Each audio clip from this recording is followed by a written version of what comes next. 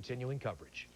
Music fans, especially those here in Seattle, are mourning the loss of Layne Staley, lead singer for Alice in Chains. Staley was found dead last night in his Seattle area apartment. KIRO 7 Eyewitness News reporter Michelle Millman has the story.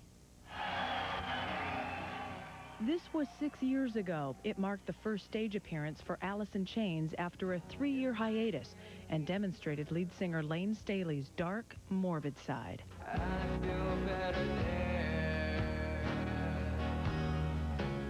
Hi, the end. Hi. Staley's death is being felt by listeners of the local radio station that premiered Seattle's grunge music more than a decade ago. Already this morning, phones were lighting up. That's just a great loss. Too. It is.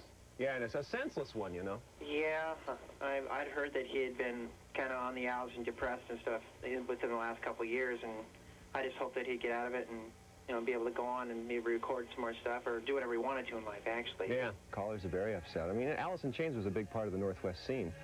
You know, one of the bedrock Seattle bands. Staley, who wrote lyrics dealing with the darkness of his struggle with heroin abuse, was discovered yesterday in this University District apartment building. Officials believe he'd been dead for some time. Flowers, a lone candle, and a card are at the scene, presumably left by a mourning fan. Along the Ave near Staley's home, fans are just now finding out about his death. And despite his admitted drug problem, his fans are still reacting with sadness. That's terrible. It's just really shocking. He was so talented. Oh my gosh. In the 1990s, Staley acknowledged an addiction to heroin. Although we don't know the cause of death, fans are wondering. It's terrible because we lose such great musicians.